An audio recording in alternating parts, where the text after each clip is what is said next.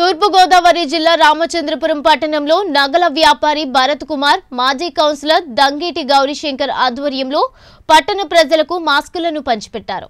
ఈ సందర్భంగా వారు మాట్లాడుతూ మాస్కులు లేకుండా ఎవరూ బయటకు రావద్దని కరోనా వ్యాధి వ్యాప్తి చెందకుండా ఉండడానికి తమ వంతు సహాయముగా తమకు చేతనైన సహాయం చేస్తున్నామన్నారు.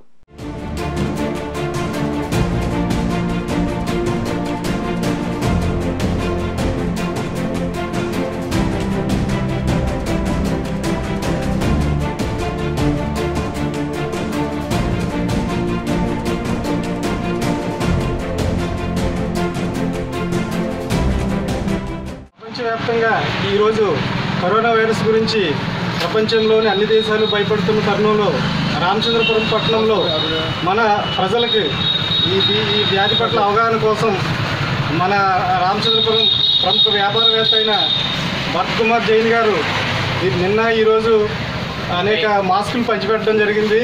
ఈ మాస్కుల ద్వారా ఆయన ప్రజలందరికీ ఒక మంచి సందేశాన్ని ఇవ్వడం జరుగుతుంది. ఎందుకంటే ప్రజలందరూ ఎవరో వెళ్ళల్లో వాళ్ళే ఉండాలి. బయట తిరిగే వాళ్ళు మాత్రం కంపల్సరీ మన శుభ్ర శుభ్రత కోసం ఎదు ఎదు ఎదుటి వాళ్ళ నుంచి ఆ వైరస్ నుంచి రక్షించుకోవడం కోసం ఆయన చాలా ఉదార స్వభావంతో ఈరోజు మాస్కులు పంచిపెడుతున్నారు.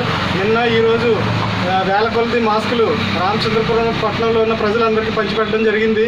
మేమందరం కూడా పట్టణంలో ఉన్న ప్రజలందరూ మా తరఫున రామచంద్రపురం పట్టణం తరఫున ప్రజల తరఫున ఆయనకి ధన్యవాదాలు తెలియజేసుకుంటున్నాం. ఇలాంటి అనేక సేవా కార్యక్రమాలు అనేక కార్యక్రమాలు ఇంకా మరిన్ని ముందుకు చేయాలని ఆయన కోరి ప్రార్థిస్తున్నాం.